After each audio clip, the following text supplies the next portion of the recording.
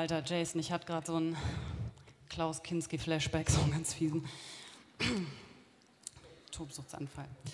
Ähm, ja, tut mir leid, das war jetzt gerade so schön und jetzt komme ich. Ähm, ich habe einen Text aus meiner Reihe leider autobiografische Texte dabei.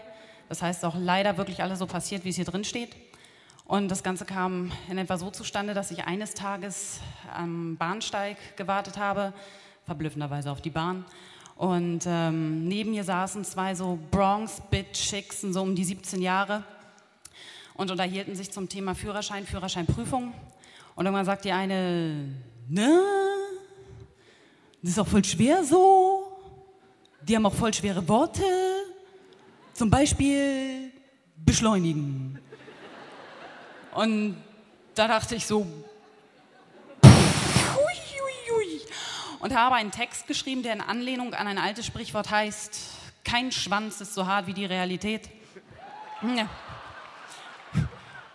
Und tut auch nicht so weh im Kopf. Geil, er so, nee, nee, Baby, du kennst mich nicht, du kennst mich nicht. Schön. Die Realität hat eine grausame Angewohnheit. Sie ist von Zeit zu Zeit grausam. Und sie macht das mit einem, was allenfalls ein schlechter Liebhaber tun würde. Sie zwingt einen in die Knie. Sei es auch nur das Verständnis betreffend. Selbiges fand bei mir ein jähes Ende, als ich kürzlich geistesabwesend an einer Ampel auf dem Radweg stand und mir daraufhin ein älterer Herr, Kopfgeldrentner, Pimmel von seinem Fahrrad aus im Vorbeifahren mit der Faust in den Rücken boxte. Und dann auch noch pöbelte, na, ist das jetzt schön so? Einfach auf dem Radweg stehen! Und ich dachte, nee, das ist nicht schön. Ahnt man doch nicht. Stehst du auf dem Radweg quer, kommt von irgendwo ein Rentlein her. Entschuldigung. Das, das, nein, nein, das, das ist Realität, die in mehrfacher Hinsicht wehtut. Ähnlich viel Schmerz verspürte ich nur in Anbetracht der verbalen Entgleisung der Kölner Oberbürgermeisterin Henriette Reker, die sagte, Frauen sollten, um sich vor Übergriffen von Männern zu schützen, immer eine Armlänge Abstand halten. Unmittelbar sah ich das neue Cover des Satiremagazins Titanic vor meinem inneren Auge. Eine grimmig dreinblickende, kaum bis keinarmige Frau. Daneben der Schriftzug Praxistest versagt. Kontergan-Frauen im Nachteil. Ist natürlich alles völliger Humbug. Eine Armlänge alleine wird niemals ausreichen, um einen anderen Menschen auf Distanz zu halten. Man muss das Ganze schon effektvoll untermalen, damit es wirkt. Mit einer dramatischen Geste zum Beispiel. Ich habe mir das in etwa so vorgestellt. Stop!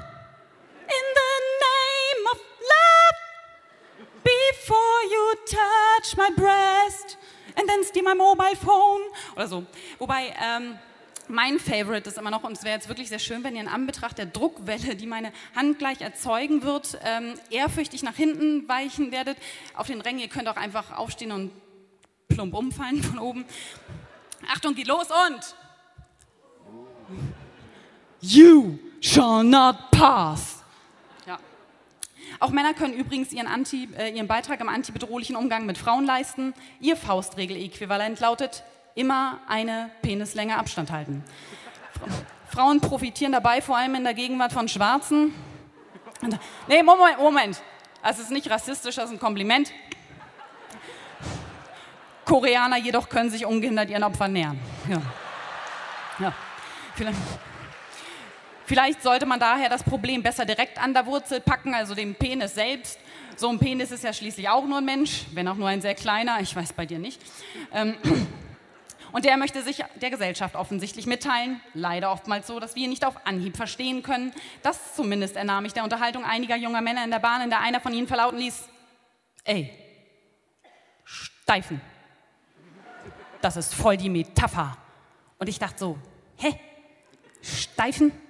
Eine Metapher? Wofür steht das? Apartheid? Ja, die Apartheid war ganz schön versteift. Anarchie?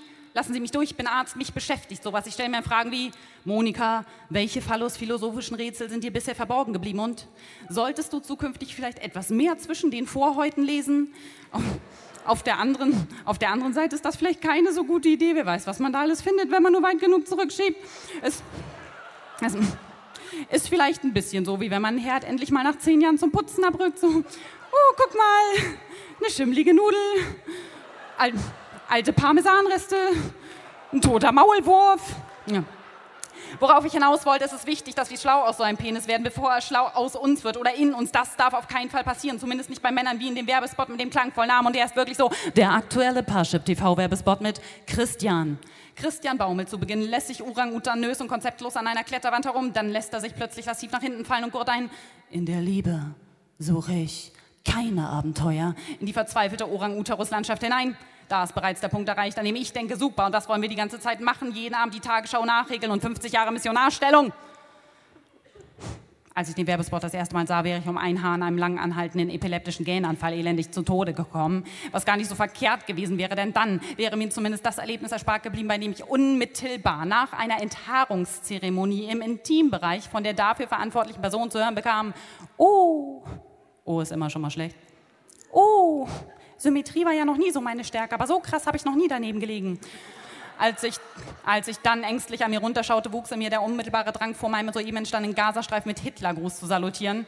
Was daran lag, dass ich untenrum aussah wie der Führer nach einem Rasierunfall. Es war ein einseitiges Hitlerbärtchen. Ich schaute die vermeintliche Enthaarungspädagogin an und sagte, das ist aber wirklich sehr schief. Ihre unverblümte Antwort, und das tut heute noch sehr weh. Naja, da unten sieht's ja eh niemand. Ja, sagt wer? Ich sehe schon meinen Frauenarzt bei der nächsten Vorsorgeuntersuchung. Frau Mertens! Das ist so schön, mein unten! Da möchte ich gerne einmarschieren. Ja, da hatte, da hatte ich denselben Gedanken wie bei dieser Frau, die man bei einem Quiz auf der Straße fragte, aus welchem Körperteil Adams Eva entstanden ist. Wohlgemerkt, es gab vier Antworten zur Auswahl die richtige war sogar dabei. Sie antwortete verstörend selbstsicher, dass Eva aus Adams Penis geformt wurde. Und ich dachte, eine in sich total konsequente Schlussfolgerung. Ihr Gehirn scheint so klein, dass es problemlos in eine Eichel hineinpasst. Na.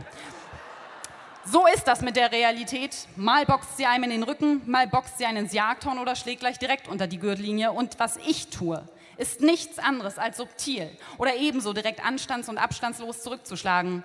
Nur schlage ich mit Worten. Denn Worte sind immer noch die wirkungsvollere Waffe. PS, Vagisan spricht offen über Scheidentrockenheit. Scheidentrockenheit wehrt sich jetzt und spricht offen über Vagisan. Macht mit. Dankeschön.